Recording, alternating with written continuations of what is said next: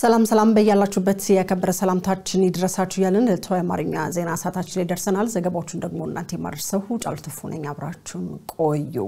ኦኤምኤን የአገው ሕዝብ ድምፅ ነው ሲሉ የብሔረሰቡ ተወላጆች ገለጹ። የኦኤምኤን አስረኛ ዓመት የምስረታ በዓል ዋዜማ በተለያዩ ዝግጅቶች እየተከበረ ይገኛል። ሶፊያ ከድር በጉዳዩ ላይ ተጨማሪ አላት። ኦሮሚያ ሚዲያ ኔትወርክ የአገው ቅማንትና ሌሎችም ብሔርና ብሔረሰቦች ድምጽ በመሆን ለዓመታት ሲሰራ ቆይቷል። አሁንም በመስራት ላይ ይገኛል። በውጭው ዓለም የሚኖሩ የአገው ተወላጆች ኦሮሚያ ሚዲያ ኔትወርክ ለአገው ሕዝብ እያደረገ ባለው አስተዋጽኦ ምስጋናቸውን አቅርቧል። የአሜሪካን ሀገር ነዋሪና የአገው ተወላጅ የሆኑት አቶ አድማሱ ጸጋዬ ኦሮሚያ ሚዲያ ኔትወርክ የአገው ሕዝብ ድምጽ መሆኑን ገልጸዋል። ኦሮሚያ ሚዲያ ኔትወርክ ላበረከተው አስተዋጽኦ ምስጋና ይገባዋል ያሉት አቶ አድማሱ ለሁሉም የአገው ተወላጆች ኦሮሚያ ሚዲያ ኔትወርክን በመደገፍ ከጎኑ እንዲቆሙ ጥሪ አቅርበዋል። ኦሮሚያ ሚዲያ ኔትወርክ አስረኛ የምስረታ በዓሉን በሚከበርበት ወቅት የገቢ ማሰባሰቢያ ፕሮግራም የሚዘጋጅ መሆኑም ተገልጿል። በውጭውም ሆነ በሀገር ቤት የሚኖሩ የአገው ተወላጆች በዚህ የገቢ ማሰባሰቢያ ፕሮግራም ላይ በመሳተፍ የበኩላቸውን ድርሻ እንዲወጡም አቶ አድማሱ ጥሪ አቅርቧል።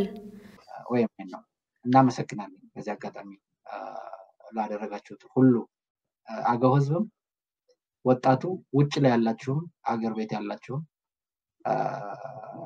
ይህ ሚዲያችን ነው፣ የኛ ሚዲያ ነው፣ የሰው ሚዲያ ነው የምንለው አይደለም እና ከጎኑ እንድትቆሙ ነው የምንፈልገው ማሳሰበው። ኦሮሚያ ሚዲያ ኔትወርክ አስረኛ ዓመት የምስረታ በዓል የሚያከብረው መጋቢት ሁለት 2024 መሆኑን የድርጅቱ አስተዳደር ገልጸዋል። የአገው ፈረሰኞች በዓል የሚከበረው በአድዋ ድል ውስጥ የአገው ፈረሰኞች የተጫወቱትን ሚና በማስታወስ ጭምር መሆኑን የአገው ብሔረሰብ ተወላጆች ገለጹ። የአገው 84ተኛው የፈረሰኞች በዓልና የክልልነት ጥያቄ አስመልክቶ የአገው ብሔረሰብ ተወላጆች ከኦኤምኤን ጋር ቆይታ አድርገዋል።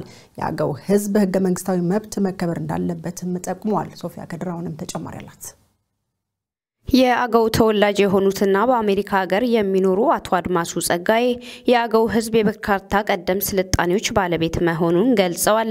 ሰማንያ አራተኛው የአገው ፈረሰኞች በዓል በአማራ ክልል አዊ ብሔረሰብ ዞን እንጅባራ ከተማ በደማቅ ሁኔታ መከበሩንም ገልጿል። በፍንፍኔም በዓሉን ለማክበር እቅድ ተይዞ እንደነበር የገለጹት አቶ አድማሱ ነገር ግን ተከልክለናል ብለዋል። ምክንያቱም የመሰረቱ አንድ ስለሆነ ማለት ነው ፍላጎት ነበረን። ግን እንግዲህ ባለጊዜዎቹ፣ ባለስልጣኖቹ፣ ባለሚዲያዎቹ ከለከሉን፣ አሹን። ምን ታደርጋለህ? በአውስትራሊያ ሀገር የሚኖሩ የአገው ተወላጅ አቶ ኃይሉ ተሰማ በበኩላቸው የባህል አፈና ከፖለቲካ አፈና ጋር የተያያዘ ነው ብሏል።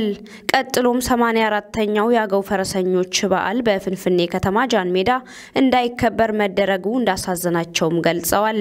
የባህል አፈናው ከፖለቲካው ጋር የተያያዘ ነው። አንደኛ መልህ የባህል አሁን በመቀጠልም አገው በአማራ ጽንፈኛ ቡድን ነጻነቱን ተነጥቀዋል ያሉ ሲሆን ይህ ደግሞ የአገውን ባህል ለመንጠቅ የተደረገ መሆኑን ተናግሯል። በሕገ መንግስቱ መሰረት የአገው ሕዝብ ራሱን በራሱ የማስተዳደር መብት አለው ያሉት አቶ አድማሱ በጽንፈኛው ቡድን የሕዝቡን የክልልነት ጥያቄ ለማፈን ከፍተኛ ጥረት እየተደረገ ነው ብሏል። ክልል መሆን ይችላል። ይህን ሕገ መንግስት ግን አገው ሕዝብ እንዲተገበር አይፈልግም። ፌዴራል መንግስትም አገው ህዝብ እንዲተገብር ማስፈጸም ግዴታው ኃላፊነቱ ሆኖ ሳለ ችላ ብሎታል። መንግስት የአገውን ህዝብ ህገ መንግስታዊ ጥያቄ ማስከበር አለበትም በማለት ጠይቀዋል። ሰባ አምስተኛው የጉጂ ገዳ ባሊ የርክክብ ስነ ስርዓት የካቲት 13 ቀን 2016 በደማቅ ሁኔታ እንደሚከበር ተገለጸ። በየስምንት ዓመቱ የባል ርክክቡ በአባገዳዎች መሀል የሚደረግ ሲሆን ለዘንድሮ የርክክብ ስነስርዓትም ዝግጅቶች እንደተጠናቀቁ ተገልጸዋል። በዕለቱም የተለያዩ የፓናል ውይይቶችም ለማካሄድ ታቅዷል። በርክክብ ስነስርዓቱ ላይ ለመካፈል ከውጭና ከሀገር ውስጥ የሚመጡ እንግዶችን ለማስተናገድ ከተለያዩ የህብረተሰብ ክፍሎች ጋር ሰፊ ውይይትና ዝግጅትም ተደርጓል። ከሀርሙፋ ገዳ ወደ ሮበሌ ገዳ በሚደረገው በዚህ የባል ርክክብ ስነስርዓት ላይ ለመታደም ህብረተሰቡ በግልና በቡድን ሆኖ ዝግጅት እያደረጉ ይገኛሉ። በሌላ ጉዳይ እየጨመረ የመጣው የኑሮ ውድነት በዜጎች ላይ ከፍተኛ ቀውስ እያስከተለ መሆኑን የተለያዩ ከተሞች ነዋሪዎች ገለጹ። በተለይም በከተማ ላለው ነዋሪ የኑሮ ውድነቱ በእጅጉ ፈታኝ መሆኑን ነው የሚያስረዱት። መንግስት ይህንን ችግር በጊዜ መቅረፍ አለበት ሲሉ አስተያየታቸውን የሰጡን አካላት ገልጸዋል። ተጨማሪ አለን። በሀገሪቱ ያለው የኑሮ ውድነት አሳሳቢ ደረጃ ላይ ከደረሰ ሰነባብቷል። ዜጎች በኑሮ ውድነቱ ሳቢያ ከፍተኛ ቀውስ ውስጥ ከገቡም ቆይተዋል። መንግስትም ችግሩን ለማቃለል እያደረገ ያለው ጥረት ምንም መፍትሄ እንዳልፈጠረላቸው ነው አስተያየት ሰጪዎች የሚናገሩት። በፊኒ ከተማ ነዋሪ የሆኑት አስተያየት ሰጪ እንደገለጹት በየጊዜው በሸቀጦች ላይ እየጨመረ የመጣው ዋጋ ከምናገኘው ገቢ ጋር ሊመጣጠን አልቻለም ብለዋል። ከዚህም በተጨማሪም ልጆቻችንን ለማስተማር ለትምህርት ቤት የምንጠየቀው ክፍያ የአገሪቱ ዜጎች ያማከል አይደለም በማለት ያለበትን ሁኔታ ገልጸዋል። ሌላኛው የድሬዳዋ ከተማ ነዋሪ በበኩሉ መንግስት ለሰራተኛው የደሞዝ ጭማሪ አደረግኩ ባለ ቁጥር ነጋዴዎችም ዋጋ እየጨመሩ ይገኛሉ ብሏል። በገበያችን ልክ መኖር አቃተን ያለው አስተያየት ሰጪው የቤት ክራይ፣ የሸቀጦች ዋጋና የትራንስፖርት ታሪፍ በየጊዜው ጭማሪ እያሳዩ ከአቅማችን በላይ ሆኗል በማለት በምሬት ይናገራል። በቢሾፍቱ የምትኖረው አስተያየት ሰጪ በበኩሏ መንግስት የድሃውን ሕዝብ ሮሮ ሰምቶ መፍትሄ ካላበጀ ለአገሪቱ የወደፊት እጣ ፋንታ ከባድ ነው የሚሆነው ትላለች። በተለይም በዚህ የኑሮ ውድነት ላይ ስራ አጥነት ተጨምሮበት ወጣቱ ወደ ሌብነት እንዲገባ ገፋፍቶቷል ስትል ገልጻለች።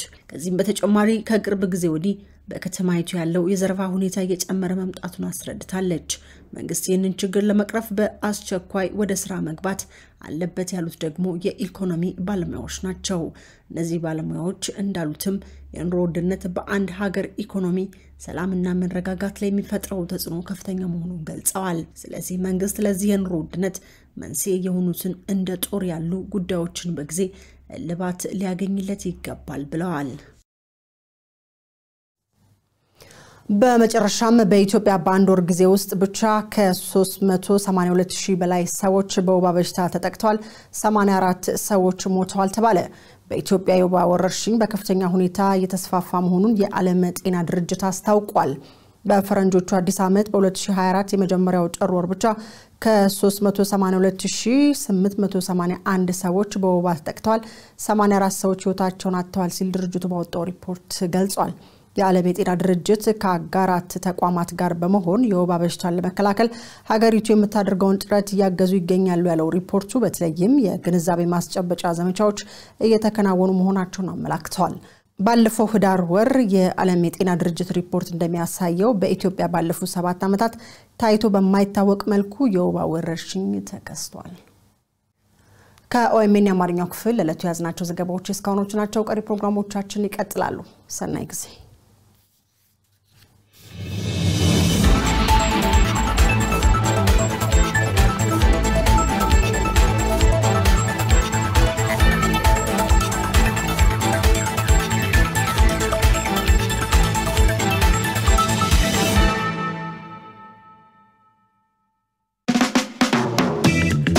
Yooyyaa daawwattoota keenya irreen Oromiyaa Miidiyaa Neetwork isin ta'uu keessan yoomillee qalbiidhaa isin baduun qabu ammallee miidiyaa keessan kana itti fufsiisuuf wabiin isinuma ta'uu ni hubattu jennee amanna. OMN maallaqaan tumsuuf filannoo harka keessan jiru keessaa tokko isin yaadachiisuu feena. Karaa peepal OMN maallaqaan tumsuun filannoo keessan isa salphaadha.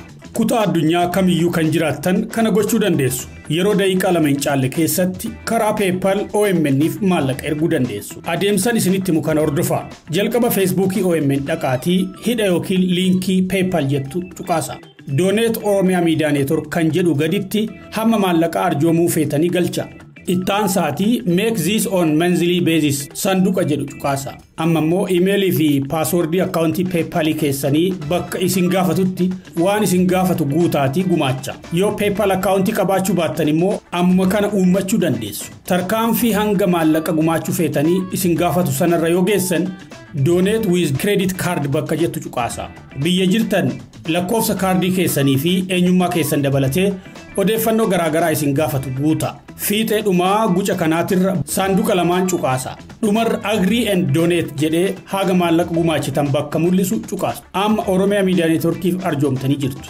Ji'aan arjoomuufis waadaa galtanii jirtu. Miidiyaa keessaniif irree ta'uun uummata keessaniif sagalee waan taataniif ulfaadhaa.